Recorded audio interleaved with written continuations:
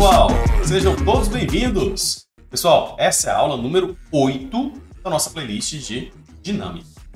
Hoje eu vou fazer um resumão, um resumaço bacana de todas as forças que trabalhamos, tá? Então, vamos trabalhar, vamos relembrar tudo, desde a aula 1 até a aula de número 7. Resumando, então vem comigo que você vai curtir bastante. Ó, mas se você caiu agora, chegou agora nesse momento, te aconselho, cara, ó, vai na playlist e vai pro vídeo número 1 e segue para você entender todo o processo. Vai te ajudar bastante, beleza? Valeu! Então bora, bora pra aula. Vai ser um.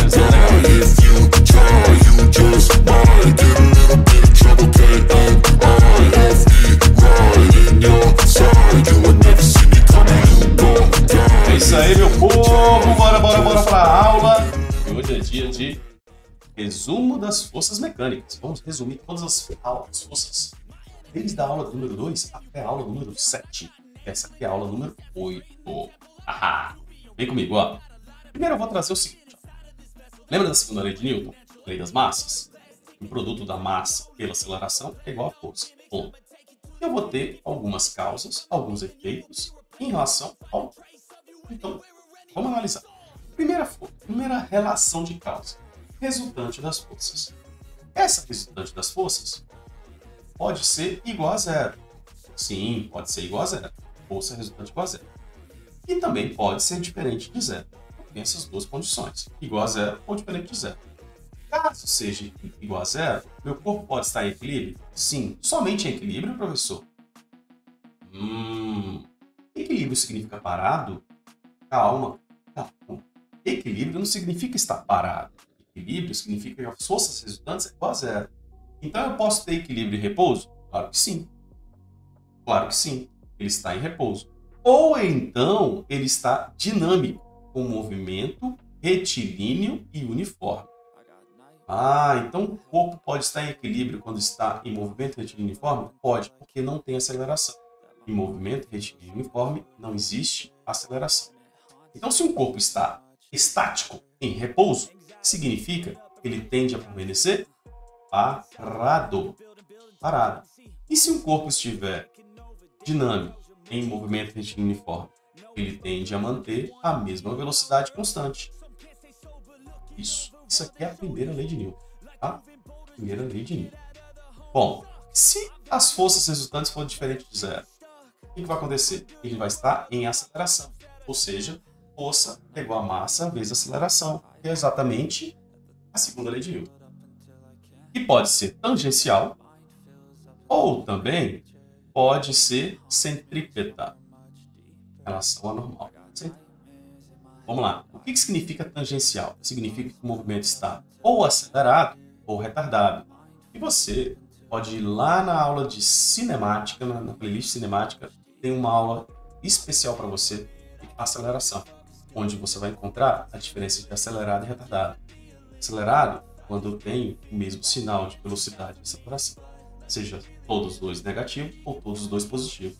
E retardado é quando tanto velocidade quanto aceleração tem sinal diferente. Um é positivo e o outro é negativo. Tudo bem? E a centrípeta? Centrípeta, ela tem no corpo descrevendo o que? Uma curva. Uma curva. Tudo bem? Bom, chegamos à situação e aí essas forças podem ser tanto de campo quanto de contato. Diferença. Principal diferença de campo e contato. Campo é algo que está distante, não tem que ter um contato direto. E contato, contato. Lógico. Bom, um exemplo. Campo é o peso. Ou seja, uma pessoa não precisa estar em contato com a Terra contato direto com a Terra para sentir a sua força-peso, certo? E a força-peso sempre vai ser para onde? Para baixo. E quem é o par de ação e reação do, da, do, desse peso? É o centro da Terra. É o centro da Terra. O centro da Terra é o par de ação e reação. Lembre-se que par de ação e reação, terceira lei de Newton, só pode existir em corpos diferentes. Beleza? Massa vezes a gravidade. E igual a mg. Muito bem. Bom, e a força de contato? Uma força de contato, como por exemplo, é a mal. E ela é esmagamento, ou seja, sempre normal, sempre perpendicular à superfície. Isso aqui vale bastante na aula número 3, tá? Bom, tem aqui um corpo em cima de uma mão, está em repouso. Se ele está em repouso, tem alguma força? Tem. Eu tenho a força peso, consequentemente eu tenho a força normal, que é de esmagamento na superfície da mão desse indivíduo. Tá? Falamos bastante disso. Que a força normal vai ter uma reação e a reação da força-peso em relação ao centro da. Tudo bem? Beleza. Hum, tração. Tração tem que ter um fio. Se tem que ter um fio, se eu um corpo, esse corpo se desloca. Ou seja, decompondo eu tenho uma tração que eu puxei, uma reação, tração também em corpos diferentes, ó, mão e mão, mão e, e linha, tá vendo? E um fio ideal vai ser puxado o carrinho, então vai ter esta tração aqui do fio com o carro e do carro com o fio. Mas, para facilitar a nossa vida, a gente considera o fio ideal, então eu elimino essas trações internas aqui, ó, e fico somente com essas duas. Essa aqui eu posso dizer que são iguais. Tudo bem? Beleza? Bom, Titio trouxe para você aqui um quadrinho bem interessante, junto com meu amigo Bob Esponja, começando a estudar, ele está lendo esse quadro. Olha esse quadro. Vou colocar tipos de força, a equação que utiliza, reação e algumas observações. A primeira força que eu trago para você é a força peso, a aula número 2. Força peso, a equação que nós utilizamos, peso igual a massa de gravidade. Reação dela, população e a sua reação. Reação é no centro da Terra. Lembrando que a Terra não está parada, está em movimento e a velocidade dela é fantástica, gente. Fantástica. Bom, se ela é um globo, significa que a linha do Equador é a maior distância de circunferência entre elas. Já lá nos polos, tem uma circunferência menor. Por ter uma circunferência menor, vai ter uma gravidade diferente. Mas não é por conta uh, do centro por conta da velocidade de rotação que ela tem. Portanto, gravidade do Equador é menor que a gravidade do Polo. Tudo bem? Próximo assunto, normal. Normal. A normal, a equação que nós utilizamos é N. N. Agora, por que você não botou mais coisa, professor? Porque cada caso é um caso. Cada situação é diferente. E ela sempre vai ser perpendicular à superfície. Outra, a reação dela é uma superfície esmagada. Tudo bem? Bom, perpendicular à superfície de contato. Então, eu posso dizer que é um par de ação e reação peso e normal? Não, porque o peso e o normal acontecem no mesmo corpo. Ele tem corpos diferentes.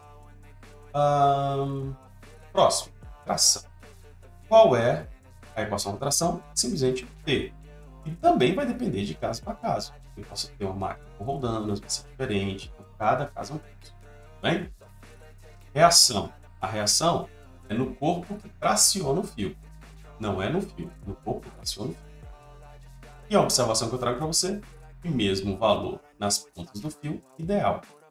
Mesmo valor nas pontas do ideal. E eu diria 99% dos seus exercícios para o vestibular vão utilizar um fio ideal. Bem? Bom, vamos continuar estudando com o Bob Esponja? Está na dúvida? Comenta aí que a gente vai e vai. Uh, próxima força, elástica. A força elástica, eu tenho que analisar que ela tem esta equação. U, força elástica igual a K vezes X. Reação dela é na mola deformada. E a observação é que os sentidos são opostos à deformação. Sempre oposto à deformação.